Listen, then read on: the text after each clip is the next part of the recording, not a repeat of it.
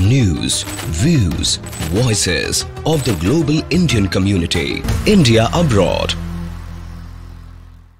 America में Donald Trump सैतालीसवें राष्ट्रपति बनने जा रहे हैं अमेरिकी चुनाव में भारतीय मूल के छह नेता भी अमेरिकी प्रतिनिधि सभा के लिए चुनाव जीत गए हैं मौजूदा कांग्रेस में इनकी संख्या पाँच थी सभी पाँच मौजूदा भारतीय अमेरिकी सदस्यों को प्रतिनिधि सभा के लिए फिर से चुना गया है भारतीय अमेरिकी वकील सुहास सुब्रमण्यम ने वर्जीनिया और पूरे ईस्ट कोस्ट से चुने जाने वाले समुदाय के पहले व्यक्ति बनकर इतिहास रच दिया। उनके अलावा श्री थानेदार मिशिगन के तेरहवें कांग्रेसनल डिस्ट्रिक्ट से लगातार दूसरी बार चुने गए। उन्होंने इसे पहली बार 2023 में जीता था।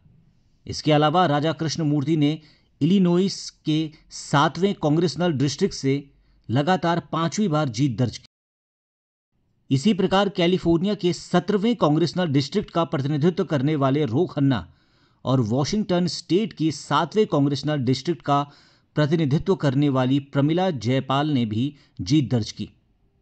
पेशे से चिकित्सक डॉक्टर अमी बेरा 2013 से कैलिफ़ोर्निया के छठे कांग्रेसनल डिस्ट्रिक्ट का प्रतिनिधित्व करने वाले भारतीय मूल के सबसे वरिष्ठ अमेरिकी सांसद हैं। उन्हें लगातार सातवीं बार चुना गया।